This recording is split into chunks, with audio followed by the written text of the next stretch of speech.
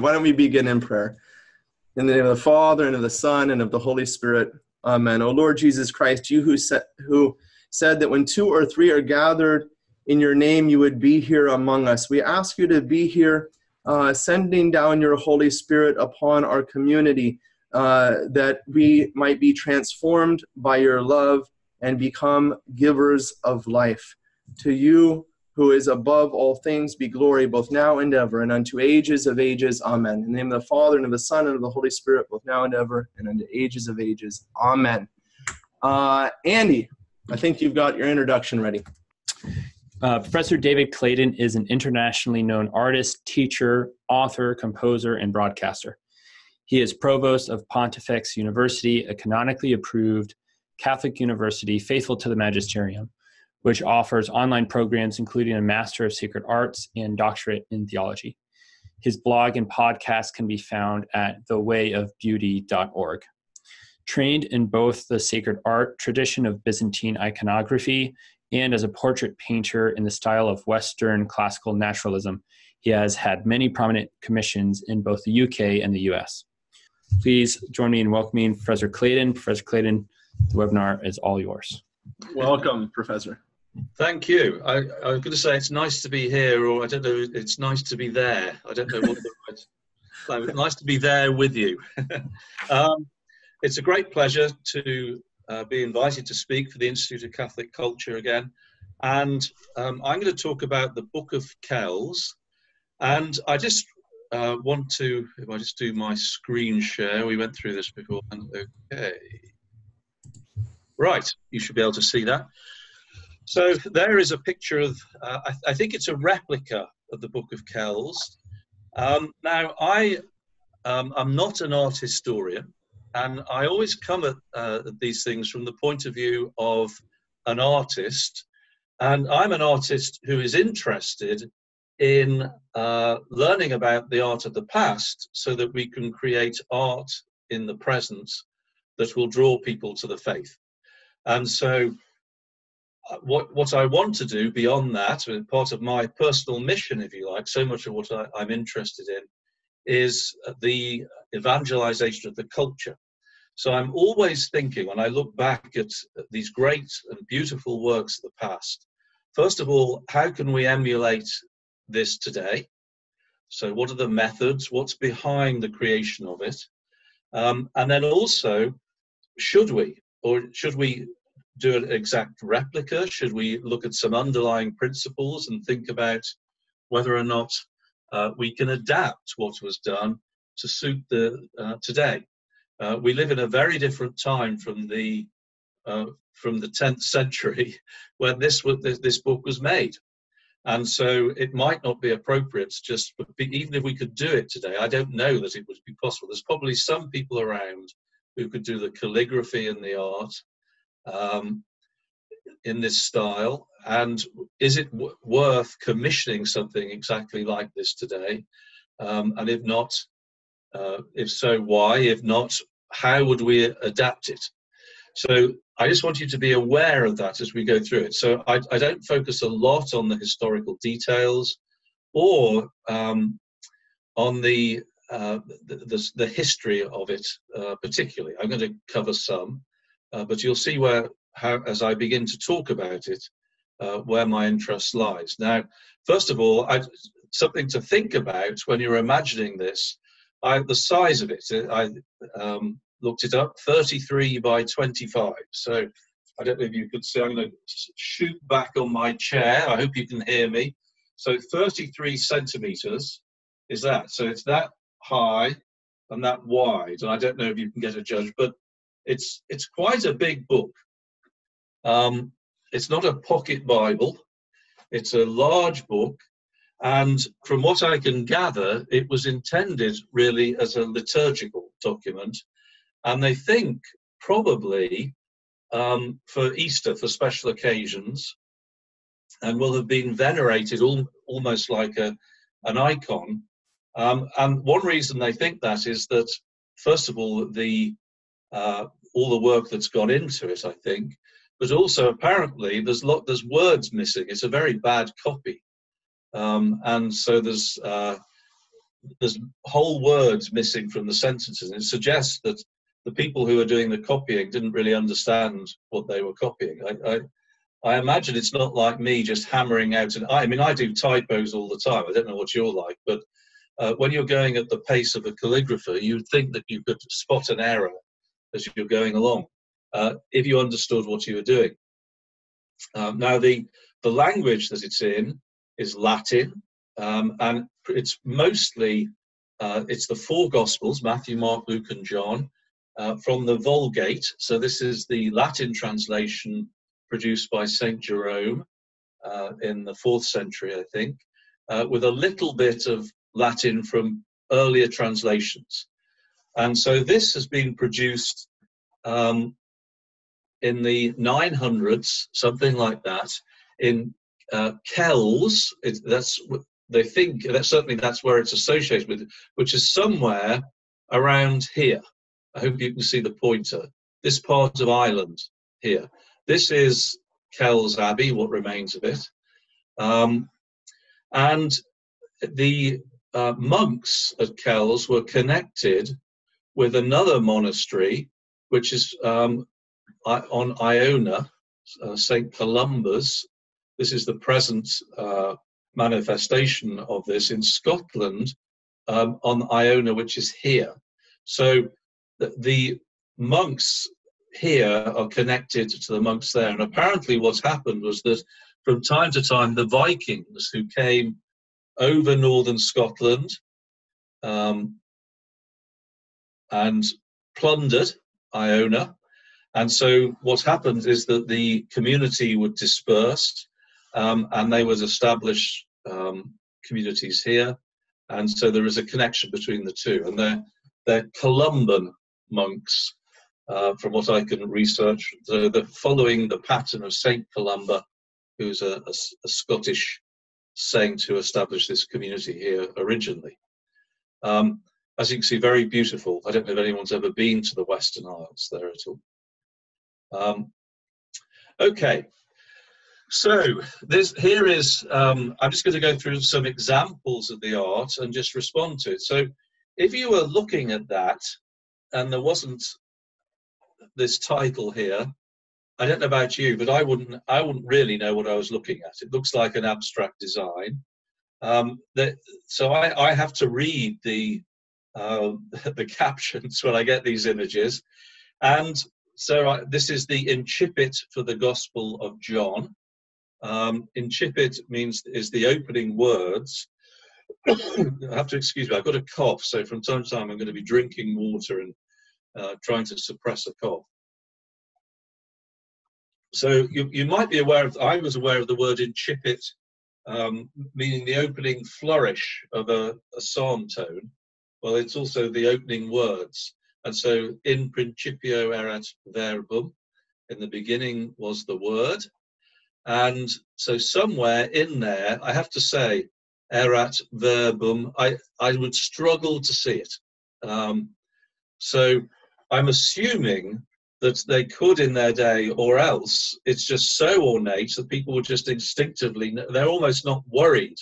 It's, it, they know it's there, so I can see verbum, I think. Um, in principio, maybe. There. Erat, there. Where is the bum? I don't know. Um, so it's their, their focus here on these pages is definitely an ornate design. There seems to be an assumption, I'm guessing, that people knew what words were there, very great familiarity with the Gospels. Um, and what you have in this book are these ornate pages at the beginning of each Gospel. Uh, so the first letters are done in this, these complex and beautiful designs, which must have taken many, many hours of work.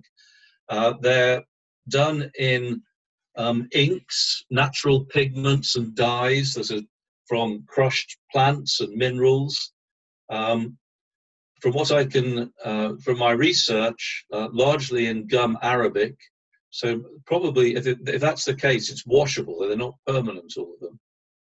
Um, and generally, what seems to the, the, the method of work seems to be by laying down lines and then infilling afterwards. So you have these broad structures which are created and then filled in. Um, the book itself consists of, as I say, the four Gospels, uh, and then you have preliminaries, canons, and commentaries. So um, you would quite often have um, the lives of the uh, evangelists, for example. Uh, the canons is really like an index, uh, just telling you what's there. Um, and then um, commentaries on the Gospels. And so there are set commentaries that would be used that date from the Church Fathers and became standard in these books. Um, now, it might interest you that the, the language is in Latin.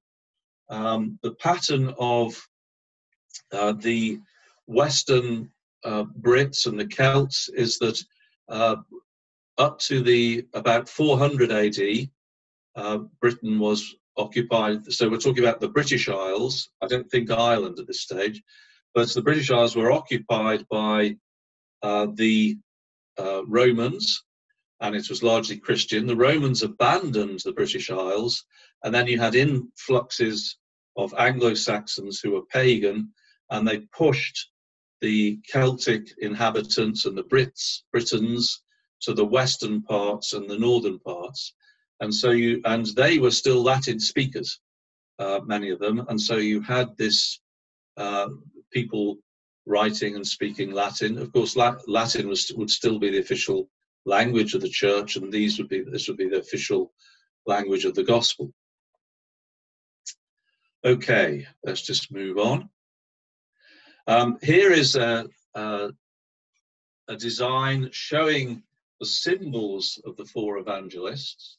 And so, in this sense, this is well, absolutely according to tradition. So, they're on what would have been um, a remote part of uh, Western Europe, um, but nevertheless an enclave of uh, culture and learning. Um, and so they, they, were fully in touch with tradition. So you have the four evangelists here, the four symbols, uh, portrayed in a in a style which is uh, as in accord with the whole book actually that is in, that is consistent with the iconographic tradition so um, anyone who's seen any uh, other lectures I've given will be aware that I, I tend to rely on Benedict XVI uh, as an authority in artistic matters. In his book, The Spirit of the Liturgy, he says that there are four, or sorry, three authentic liturgical styles um, the iconographic, the uh, Gothic, and the Baroque, he says, at its best. There's this sort of qualification. Uh, not the High Renaissance, it's worth noting.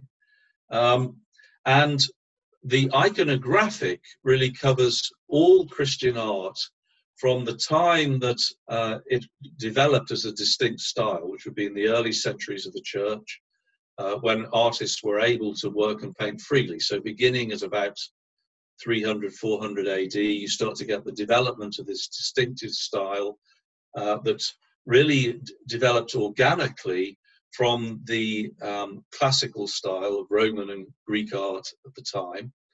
Um, and then um, the, the tradition was very clearly established and became the standard across the whole of Christendom. And as with all authentic traditions, um, it, it had certain principles which defined it, and people would not break those. But it was able to adapt and reinvent, reinvent itself according to particular places and particular times. So in the West, you, we tend to think of icons as uh, really um, the style of the Greek and Russian church today, for example, Greek icons, Russian icons. Perhaps if you know a little bit more, you might say, well, the Byzantine churches, such as the Melkites, I better mention those if Father is listening, um, in the Catholic Church. Um, but actually, as well as that, there are Western traditions of iconography which flourished right up to the time of the Romanesque, around 1100, 1200 AD and Celtic art and this sort of Anglo-Saxon Irish art that um, is absolutely consistent with that, but it clearly it has its own style. Now, what what characterize what characterizes this style is, as you can see, a strong emphasis on ornate decoration, um, and we'll talk a little bit about that later. Um, and then highly abstracted figures. If you compare the way that um, these artists painted with the sort of painting that would, would have happened in Macedonia or in Mount Athos at the same time, the Greek um, iconography of the time was much more um, much more naturalistic. It corresponded to natural appearances. Still iconographic, still uh, uh working in accordance with the prototype, but nevertheless um, consistent uh, with it. And so what, it, what we see here is really a picture of um, more communication than you would imagine within uh, the Christian world. Uh, certainly through monastic connections, there were there were lines of communication. Um, now, what uh, I, am not going to talk at length about iconography. That's a, a, lecture in itself. But just to say that what characterizes the iconographic style, uh, the key elements are that it is a desire to portray uh, mankind in union with God. And um, so the theology which governs the stylistic elements um, really is the theology of heaven. You call it, if we were talking about John Paul II's um, theology of the body, which I'm sure some of you have studied a little bit of that. Um, he talks about eschatological man, man in union with heaven. It's, it's what we all hope to be. And so the theology which governs the style is, is really asking the question what will we look like in heaven as far as we can grasp it uh, in this life? And so, um, what features show this? Well, it's highly abstracted. They want to show that this really is pointing to another world. Um, it tends to be, uh, they tend to describe form with line. And so I'll, t- I'll contrast this with tonal description later on, tonal description of form later on. Uh, but the artists draw with lines first and then add detail after that. Um, and it will live in the plane of the painting. Uh, heaven is a place that is outside time and space. And so that flatness and that lack of perspective and depth is by design. It's not um, it's not that they couldn't draw or didn't know how to. Uh, you can see there's immense skill in control of the, the quill pen here. Um, but it's, it's deliberately trying to suggest a place that is related to, but nevertheless distinct from where we are, uh, the fallen world. And the idea is to try and uh, connect uh, us to it in our imaginations. This is the importance of symbols uh, that a symbol or a sign, an image, um, uh, connects us uh, through our imaginations to the thing portrayed. So there is the image and then there is the prototype. And this is hugely important. Remember um, that uh, later on, that, that, people were martyred um, in order to protect, to defend the principle of having images in church. And this wasn't eventually in the Seventh Ecumenical Council in 787. The church didn't simply say that um, images were desirable, they said that they are, we must have them uh, because they are uh, so crucial to our understanding of how we can have um, relate the things that we can touch and see to the things we can't.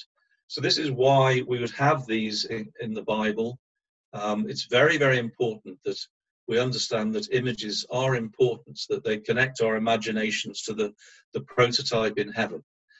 Now, these four images come from the vision of Ezekiel.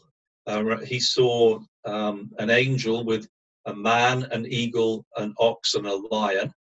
Um, and by convention, these are, have come to symbolize the four evangelists, so clearly appropriate for a book containing uh, the, the four gospels. And so we have Matthew as a lion, Mark as an eagle, John as a, uh, sorry, an ox is for Luke, an eagle for John, a lion for Mark, and a man for Matthew. So a man is what we normally think of as an angel with wings.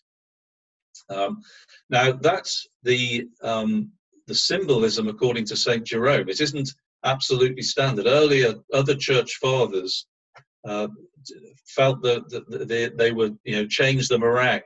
It's, it was only eventually by the time of Saint Jerome that it became settled as a standard for symbolism. But um, interestingly, the artist of the Book of Kells um, happily adopted this. Okay. so as I mentioned, this is fully iconographic uh, in style. This is Christ enthroned. Um, and I think, I, as much as anything, just wonder at the beauty and intricacy of this and the brightness of the colours. Um, and I just want to compare it, first of all, with there is a more traditional. Well, that's actually a painting that I did, so that's a in a more uh, Russian iconographic style. But you see, broadly speaking, we have the same format: Christ seated uh, with the four evangelists uh, around him, carrying the word out to the four corners of the world.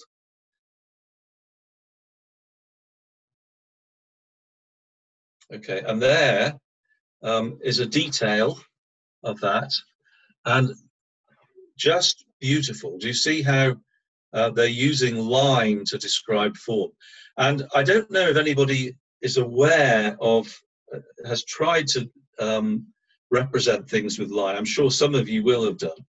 Um, we tend to think of it as a simple form of art that line drawing for children will begin with, with lines, drawing outlines. But there's so much more to this than simply drawing an outline. First of all, notice how there is a calligraphic flow to the lines and a rhythm there. Um, so even if this weren't, we, we're looking at a detail. So even if we couldn't tell what it was, there is a beauty in the abstract design of the placement of these lines in two dimensions. Um, and the artist is happy to abstract, to distort the figure in order to preserve the two dimensional harmony of the graphic design. Um, and this is something that characterizes very much Celtic art. They're, they're so um, attached to the uh, the abstract decorative design that they will happily move the the proportions of the figure around in order to make sure that it it's um, it looks harmonious as a whole. Other things to notice. Um, for example, you have the uh, folded cloth here, and if you um, do an icon painting class, I just I'm always curious about this. How it's easier to see here. You have a line which comes down here, and actually will then come to here. Typically, like this. So it isn't a zigzag, single zigzag line here. You have one line coming down. It goes round the corner and defines the far edge of that fold. Do you see that? And then this line comes down, finds the far edge, and it stops there, and there's a gap between the two. And the gap they would put in very often gold paint, or in this case yellow. I don't know. This is literally gold. It might be, um, and this marks the un, the edge of the garment. But it's very important to have a gap there, and so this comes down to here. Then you have a line coming to here, one to here, one to here like that. And when I was did icon painting classes, I was taught to draw folded cloth, excuse me, in exactly that way. This is absolutely according to the tradition. So this is how the monks did it uh, in uh, the west of Ireland in the 10th century. It's how I was taught in my icon painting class uh, in the 21st century. Notice also how the, the, the width of the line changes. And this is the mark of, of a skilled draftsman in um, who's used to describing form in line. You don't just have simple, even width of line.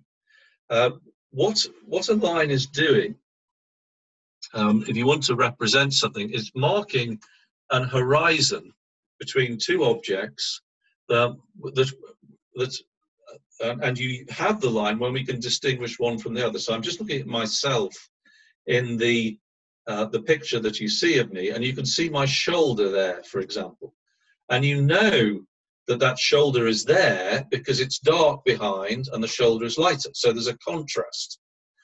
Um, now you could um, represent that by darkening the whole background, having a flat tonal area there that's dark, and a lighter tonal area here.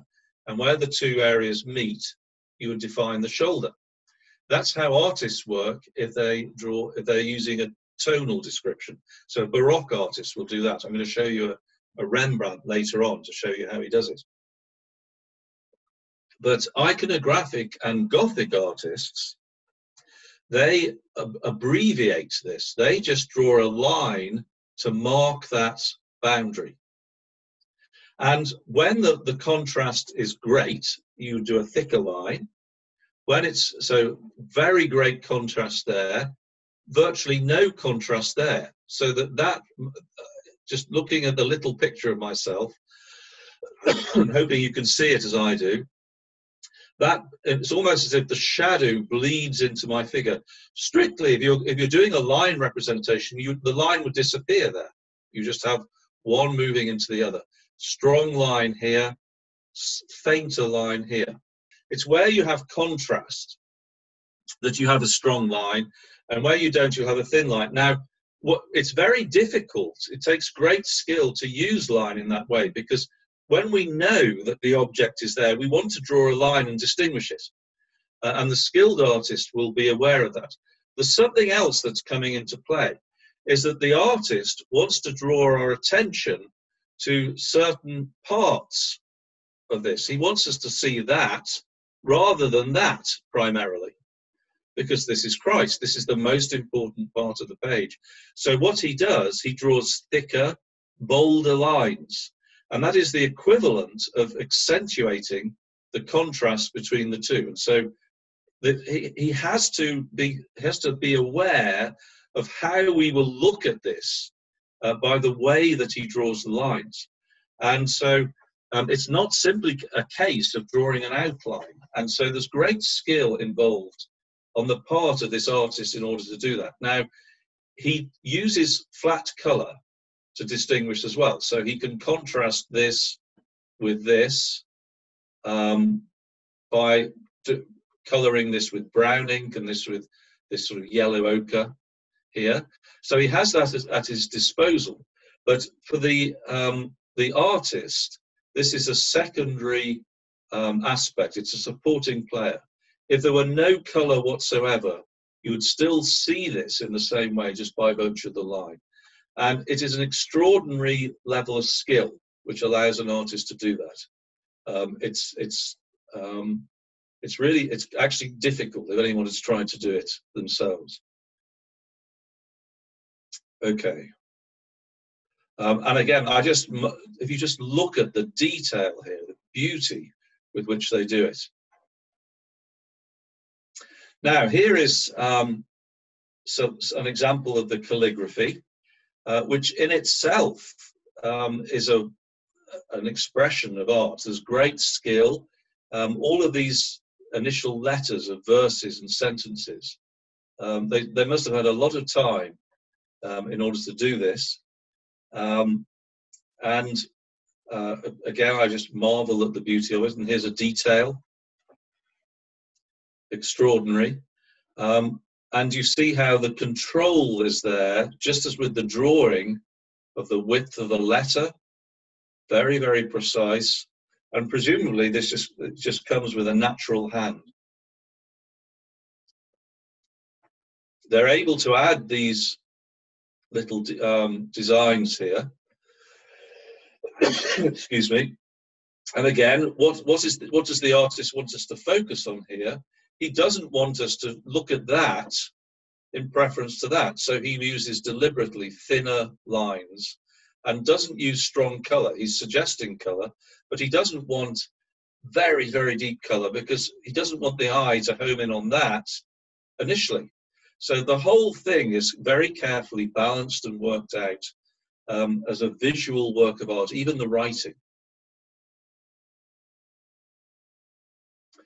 Here is um, the genealogy of Jesus from St. Luke's Gospel. And again, do you see the, the beautiful way in which there is a sense of graphic design in setting this out? And there, there is something that always occurs to me when I, when I think of this. Um, we can do calligraphy. Today. There are some people teaching it and studying it. It isn't totally a lost art. Um, and I've often wondered whether we it would be worth creating something like the Book of Kells today.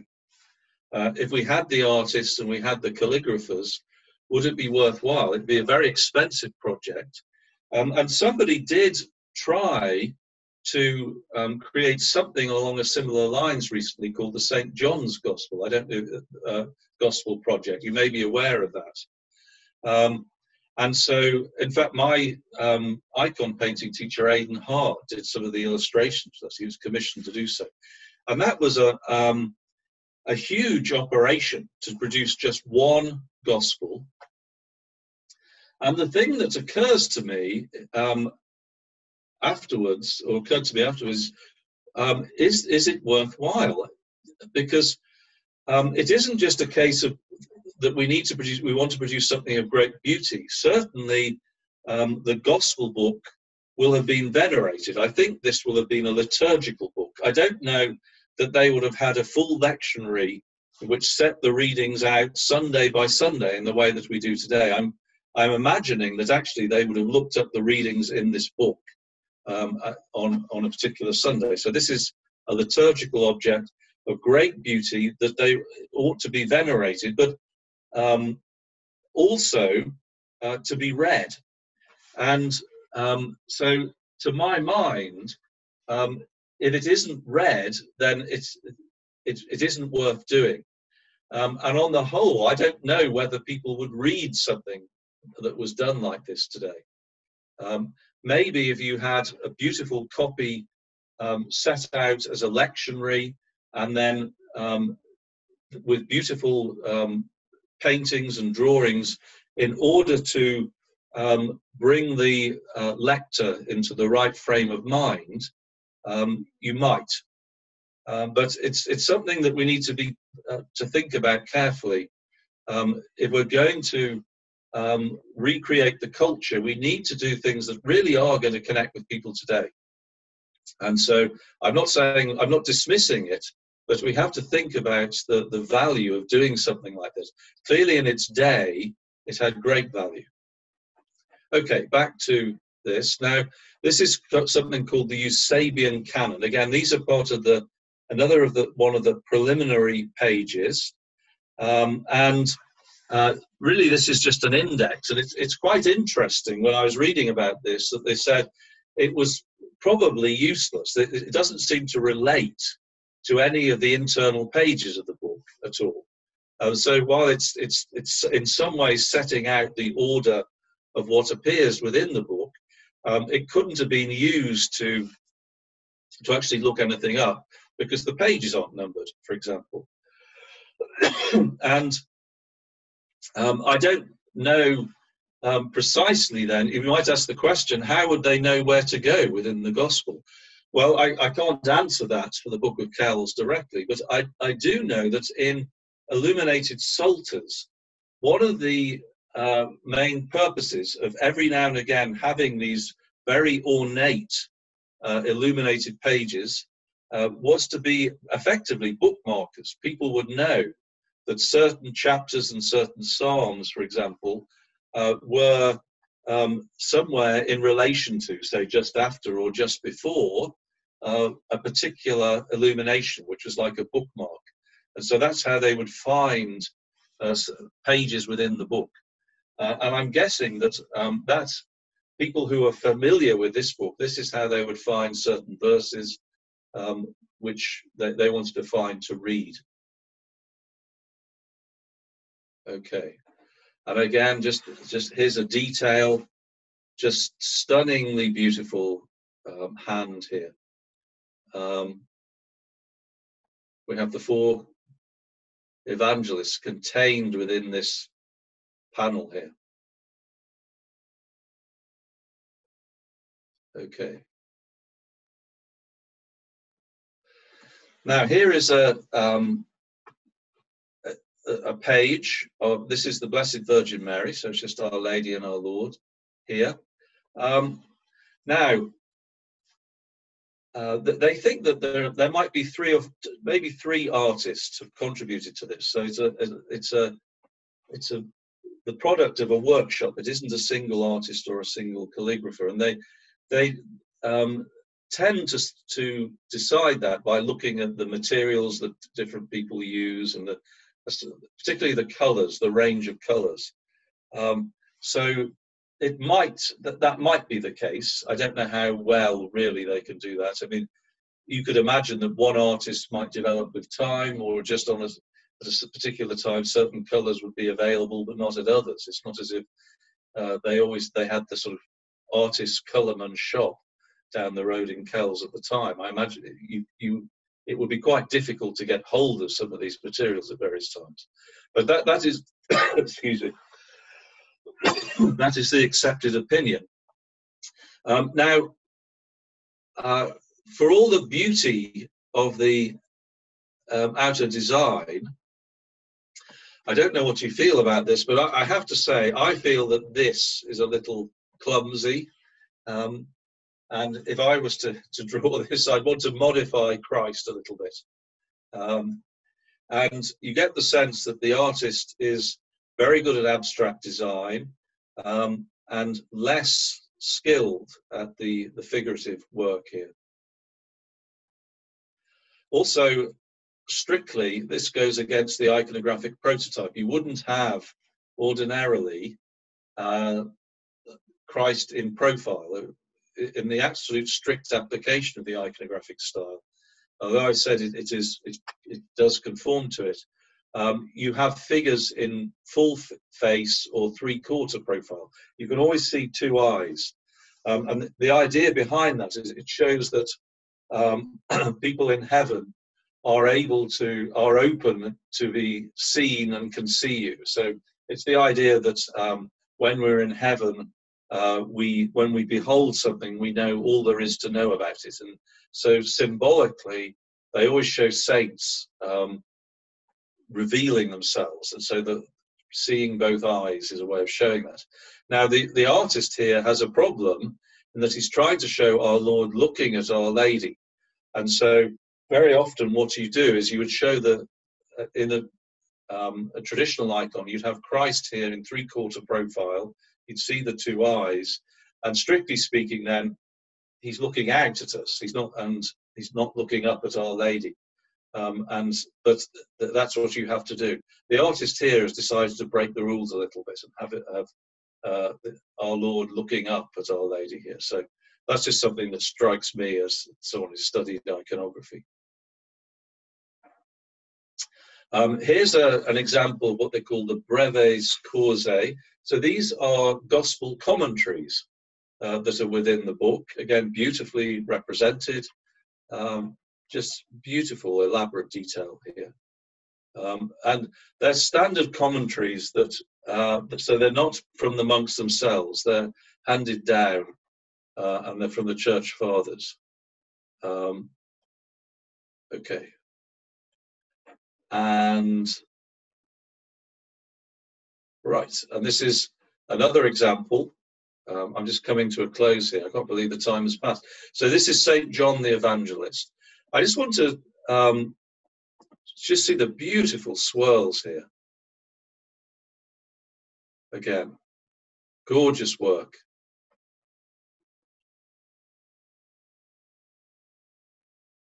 Um, the incipit of the Gospel of Matthew.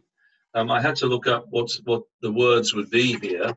Quoniam quidem, for indeed, uh, would be the two first Latin words. Again, I couldn't make that out. I, I guess there might be a Q there, Q there.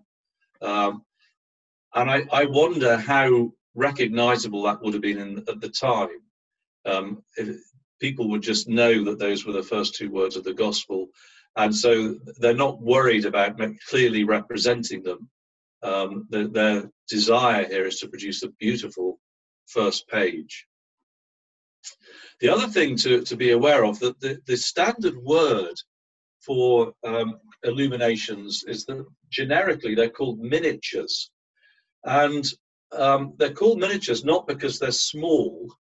Uh, the, this is not a small um, drawing. So some of them were small, um, but they they're called miniature because the pigment, which very often they would lay down first, the first drawing, if you like, which you couldn't erase things. It was not like you had a an eraser with a graphite pencil. So you lay the lines down first in a in a red color, and then you'd darken them up when you were sure of um, your position. And the red color is red lead. It's lead oxide, uh, highly poisonous. Um, but the, the Latin word for the red oxide, I think, is minium, something like that. And so it became it came to refer to the style um, of illumination. They called the miniatures as it moved into the English language um, around 1500, 1600. So this is later. Um, and then uh, because many of them were small, certainly on a small scale in comparison to grand scale Baroque art, for example, um, it came to mean small scale art as well. And then the word miniature um, migrated again, the meaning migrated, and it came to mean anything that's small, not just painting. So it's interesting etymology there. Um, is St. Matthew offering us his gospel. So, I, can you see? I hope you could see the full Chi Rho there um, on your screens. Yes, we can. Okay, so it's a uh, in English terms, you say it's a cross and a P. That's what they're doing. Uh, again, not very obvious. They, they, they, don't. You can see. I guess that is the chi. Was, and then there's the rho there. Um, so it's not done in the conventional way. Uh, but they don't let that get in the way of a beautiful design. They, they there's really are given to having absolute ornate beauty, and they really go to town. Um, I was told that uh, this style of decoration came uh, into Celtic art because uh, prior to Christianization, they were nomadic peoples, and so their art would be abstract design on things that could be easily be picked up and uh, would move with them. So things like belt buckles and brooches and things like that. And so when they started to uh, write and do art, art, illumination, they brought that um, flair for abstract swirling design uh, into their art. Another thing that's interesting is that this beautiful flow of ours. It always strike, struck me uh, when I started to do this that if you were to describe these mathematically, they are ellipses and parabolas. Uh, and I studied physics at university. And uh, they are, uh, you, so you used to plot data on a graph, and then you try and do a smooth curve through the data on the assumption that, excuse me, that's the way that the natural order behaved. And so these um, natural flows actually describe in an abstract way the mathematical behavior of nature. They correspond to it. They really are beautifully designed ellipses and parabolas, which um, the, the reason I think that we relate to them, it's just my personal idea, my personal theory, is that they do correspond to an aspect of the natural order, which we subsequently see in so many um, scientific papers in the in the mathematical uh, formula describe uh, physical processes, for example.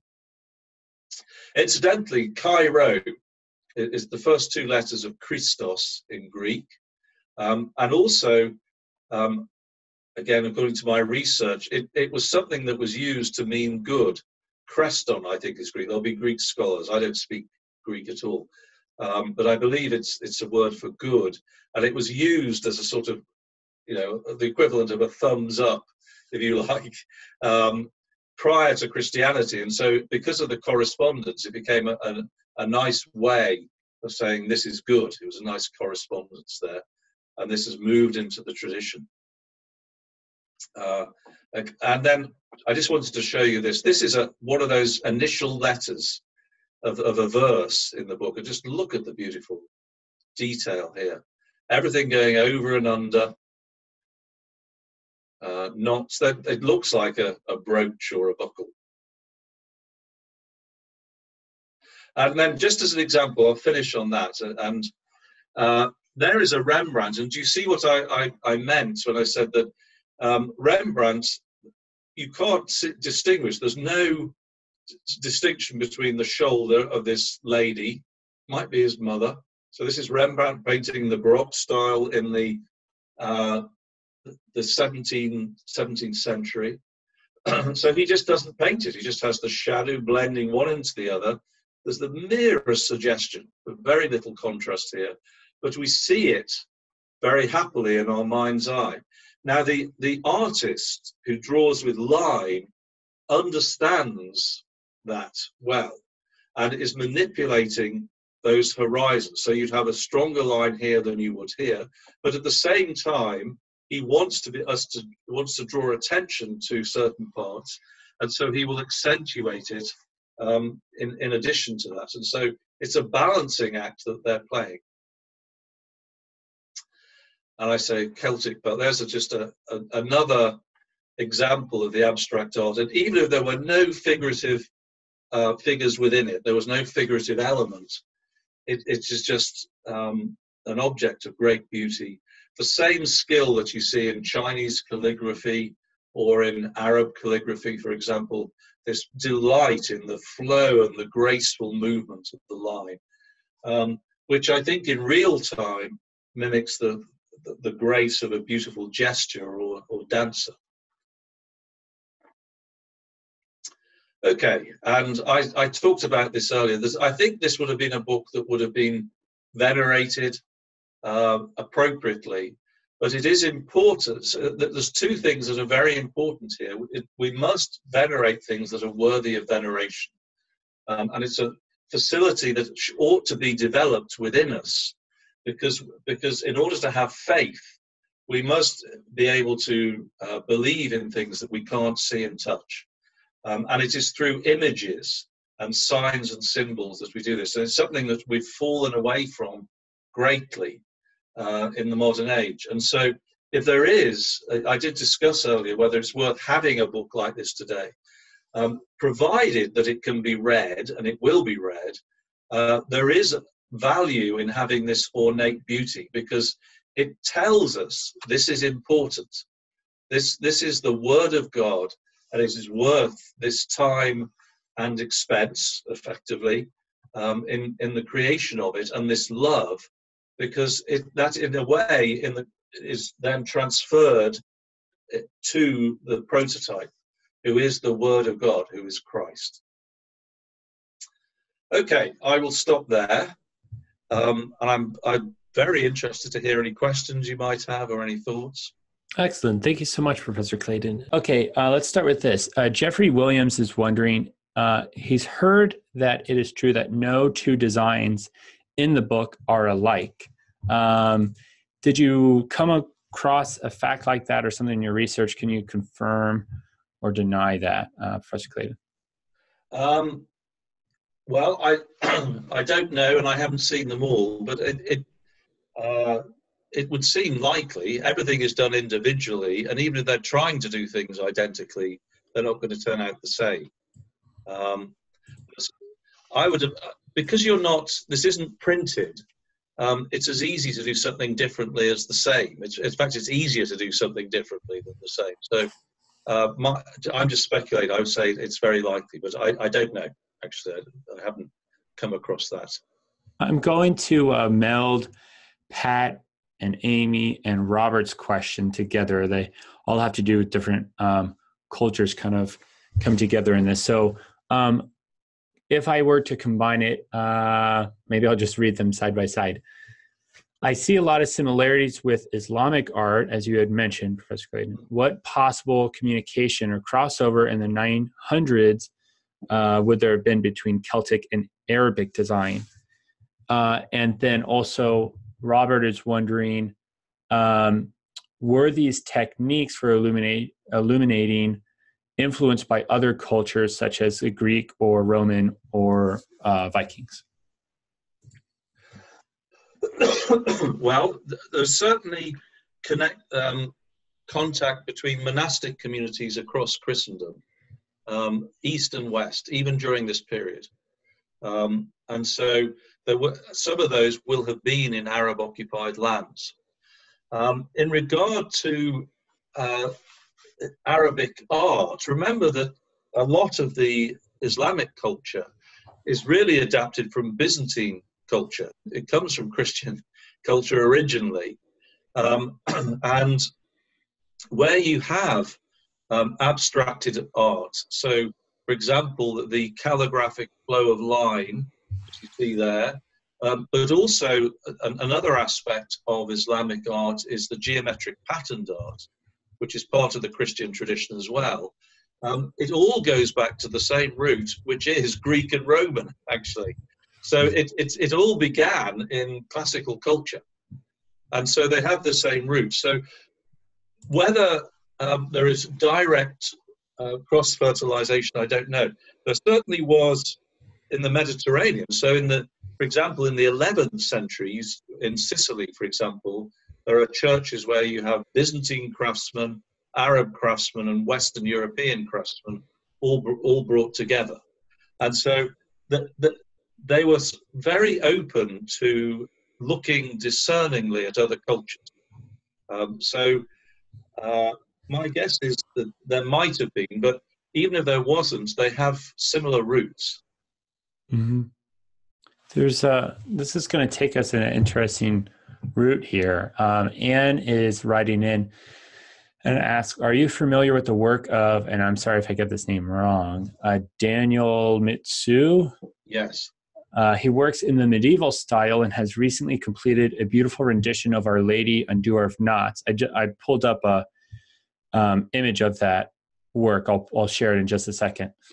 Um, incorporating Celtic knot work in the design.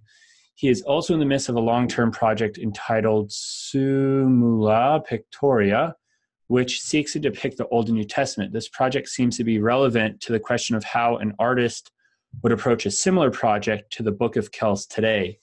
And uh, there was tying to that, Frank was writing in and is, is wondering how have or can artists use the Book of Kells as a visual inspiration in their art. And uh, let me just quickly share that um, image of the Lady Undoer of Knots that was referenced in that question.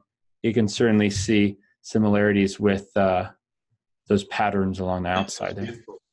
Um, so what what was the question? Sorry, I was just admiring that. What was the question again? I, I yeah, well, well, the first question was just, are you familiar with him? And, and so answer is yes. Um, but then um, Anne was kind of commenting, oh, this artist uh, seems to be a good example of how these techniques or this approach um, could be used um, in projects today. And that's that really springs us to the primary question, which is this: How have or can artists use the Book of Kells as a visual inspiration in their art? Well, we always good artists look to the past to be guided in the present, and so.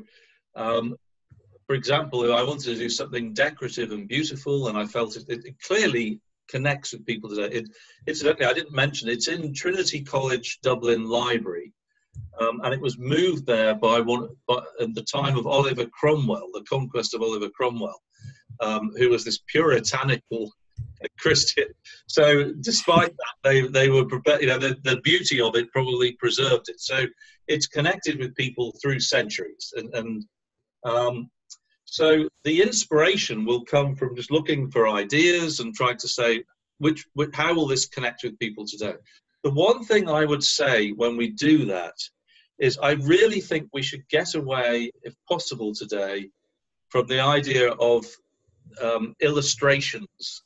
Uh, for there is it's it's it's often said, for example, I, will see I'll tell you what I mean. I'm not against illustrating the gospel; it came out wrong. What what I want to say is that it's often said that, for example, the stained glass windows in Gothic churches are the a, pre- a presentation of the Gospels for the illiterate. Now, I don't believe that actually, because I think that people uh, could talk to each other in those days. It might have been for the deaf um, and illiterate, but not for not for the um, illiterate, because people could talk to each other. What these images were in the churches were an alternative presentation of key aspects of the mysteries of the faith that were there to um, form us and inspire us in the worship. And what we have lost today in our thinking, even in our approach to beautiful imageries, and even in images that we choose for church, is the, the, the understanding that the primary function of this ought to be um, of, of sacred art ought to be to inform our worship. Mm-hmm. And so, if I was if I was to say what is most um, important today, it is to make use of art that will draw us in in the in the in the process of worshiping, and we may well need to even change the manner of our worship. So, even in um, quite devout, devout Roman Rite churches that are interested in art, if you, it struck me that they're not people are not using the art in the course of their worship. And so what happens then is that it tends to become devotional. It's something that we consider um, before Mass, after Mass, um, or uh, in order in, in, our sort of private contemplation and meditation. Now that is wonderful. That is great, and you can imagine uh, the art of the Book of Kells doing that. But if if it if it does so at the expense of our engagement with the liturgy, then there's a problem. And I, there's a whole task of, I think, catechesis or mystagogical catechesis, in which we once again become uh, alive to this um, in the actual act of worship. That this is not a pious, hands clasped, eyes closed affair. Um, and it's one thing that we can learn from um, the Eastern Church a little bit is the way that people engage directly with images in the course of worship. And I don't want, you know, Eastern Christianity is distinct from and a complement to Western Christianity. So I'm not saying we always directly copy one or the other, but it is something that I think has dropped away from the Roman Rite. And so what I would want is an emphasis on art which does that in our churches. Hmm. There's uh, two quick questions I want to um, answer. One's coming in anonymously, asking, please explain when, where, why people were martyred to protect images in our churches. Um, we'll include a link to Dr. Marshner's talk um, on iconoclasm and, and, and the importance of sacred images. Um, so just look for the further study email for that. Also, Angela is wondering if um, this work can be digitized similar to scrolls I'll also include a link recently, I think just about two months ago, a whole collection of illuminations was uh, digitized and put online. So um, I'll make sure to, oh, good, I already have a note for that. I'll make sure to uh, drop a link for that in the uh, email as well. Yes, and I have to say that we we worry about the internet, but I'm telling you that it's one of the great Google Images. You just you just put in Book of Kells, and now you can print off amazing images of these things, which wouldn't have been possible. I don't know.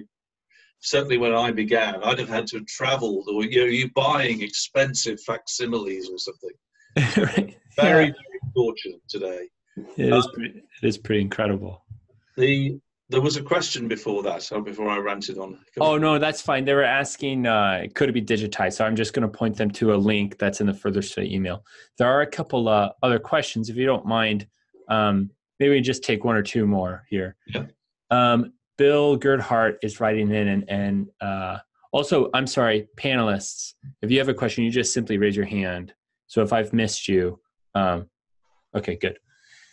Um, Bill writes in, I'll get you after this one, Bob, and uh, asks Do you think the gospel readers of the book of Kells would have recognized the extraordinary beauty of the book, or were they so accustomed to this type of elaborate art that they may not have understood its pricelessness? Pricelessness. Um, I think they would have understood it. I, I, I, I mean, your guess is as good as mine, um, but I, I think that they would have done because um, although it's, uh, it's it was art of its time, and so in that respect, you'd say, well, they were more, they would ex- expect it to be done more than today, for example. Um, nevertheless, the availability of art was so much less that I think they would have. I, I really think they would have marvelled at it. Uh, mm-hmm. But I don't know for certain.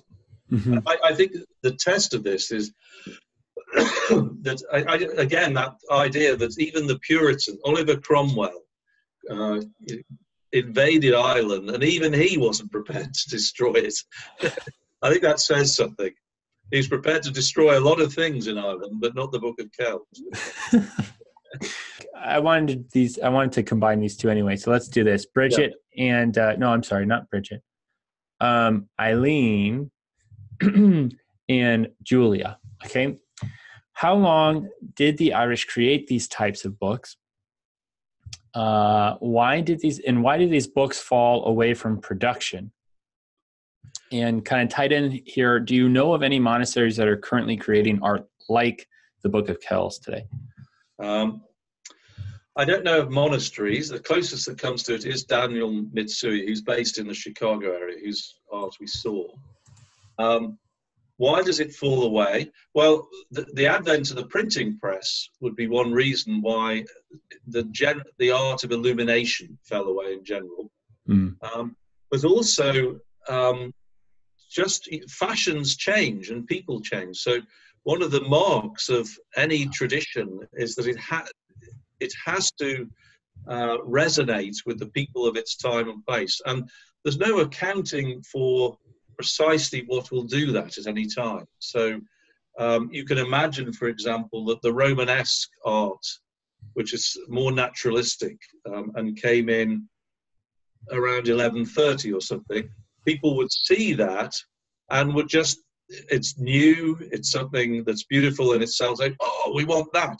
Mm-hmm. And so this sort of thing would happen. And the, it's only over over centuries that then you say, well, something will transcend its own time, um, and it has this lasting value. Um, now, uh, the, the, as to the, the, how widespread this style was, it was um, it's associated with, I think, with the British Isles. I, they call it insular. I think is the the way you character the, the generic name for it in academia. So it just means of the island. Um, and so it's uh, British Isles. It's certainly you get this in Anglo-Saxon art. Mm-hmm. Um, and one of the things that stopped it in Britain was the invasion of the Normans, who who uh, were interested in Romanesque styles. So William the Conqueror certainly, uh, I don't know how far he got into Ireland, but certainly up you know the rest of the British Isles, and that will have had an effect, I think. Mm. Excellent. Well, Professor, we really appreciate the time you've given us.